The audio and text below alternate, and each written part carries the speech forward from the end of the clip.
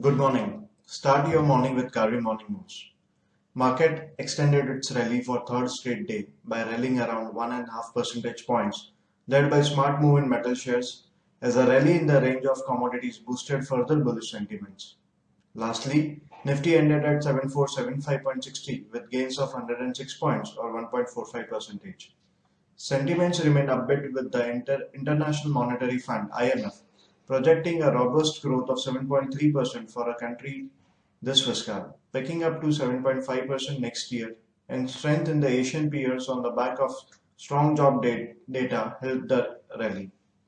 In last four trading sessions, Nifty rallied by 658 points from low to high, that is 6825.80 to 7483.95.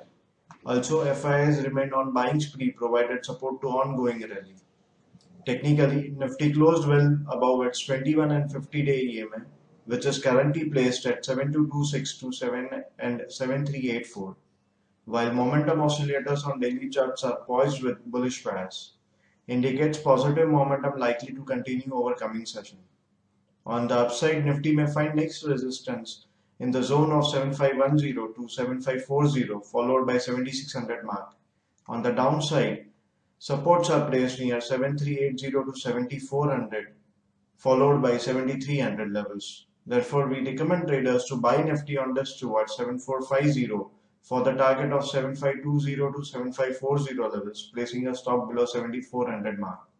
For the day, we recommend 5 trading calls, which are as follows.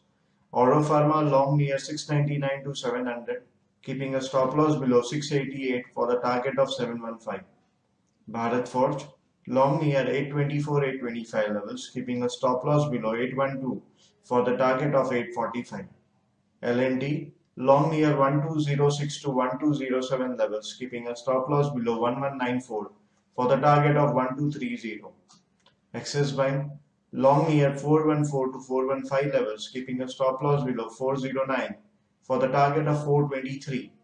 ITC sell below 319 keeping a stop loss below 325 for keeping a stop loss about 325 for the target of 310.